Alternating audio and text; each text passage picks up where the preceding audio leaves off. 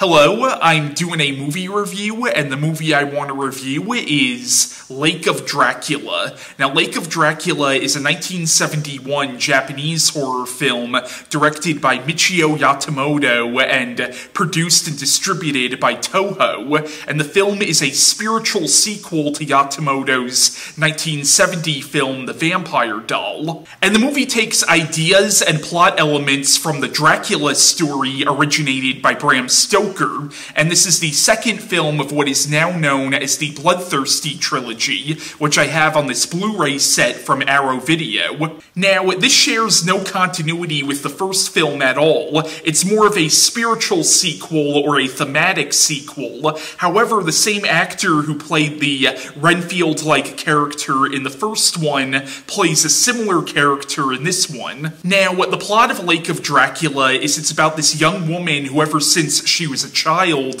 has been having this dream where she's chasing her dog through an old mansion and she comes across a vampire with horrible yellow eyes. Now, as an adult, she's not sure if this is a dream or actually a memory, but she's staying at a lake house with her sister, and at a certain point in the movie, she's walking her dog and she's seeing this older guy that she knows who rents out boats, and this guy gets a package delivered, a crate, but he didn't order anything. Eventually, he opens up the crate and discovers a coffin, and eventually he's confronted by the owner of this coffin, a vampire, the same vampire from the main character's dream. The vampire ends up turning this guy into his familiar, his Renfield for want of a better name. But this vampire ends up going after the main character and ends up turning her sister into a vampire as well. And throughout the film, the main character and her boyfriend are trying to solve the mystery of this vampire and hopefully put a stop to it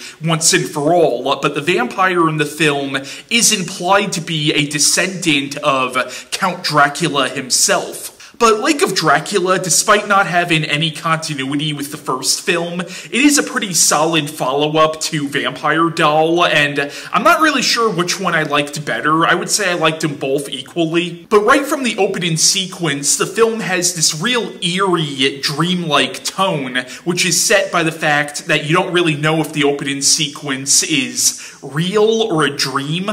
And the opening sequence of the film is honestly creepy as shit. And the main character is likable and sympathetic, and the vampire in the movie, who is basically Dracula, is actually pretty creepy and threatening. However, there is actually something kind of sympathetic about him because later on in the film you do get this sense that he really can't control what he is.